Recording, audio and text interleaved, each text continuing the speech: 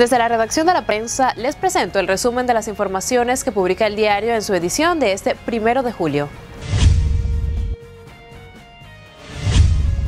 En Panorama este domingo encontrará un reportaje especial sobre la gestión del presidente de la República, Ricardo Martinelli, justo cuando este primero de julio se cumplen tres años de su gobierno. Sin avances culminó este sábado el diálogo entre autoridades del Ministerio de Educación y gremios docentes. En Panorama además se publica un reporte sobre lo ocurrido en el reinicio de estas negociaciones.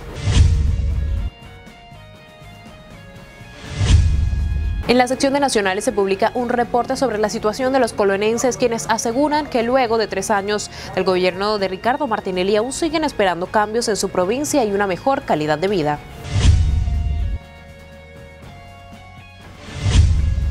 Cuatro candidatos disputarán la presidencia de México para el periodo 2012-2018. Unos 80 millones de mexicanos están habilitados para elegir al sucesor del presidente Felipe Calderón. En Mundo busca detalles del proceso electoral en este país.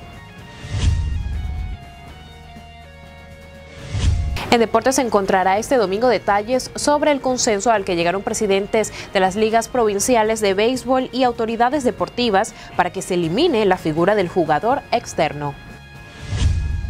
Hasta aquí el resumen de las informaciones que publique la prensa en su edición de este primero de julio. Les recuerdo que prensa.com en alianza con Radio Panamá tendrá este domingo una cobertura de todo lo que ocurre en la Asamblea Nacional cuando se instale el cuarto periodo de sesiones en el legislativo, además de otras actividades políticas que se tienen programadas en el marco de los tres años de gestión del presidente de la República, Ricardo Martinelli.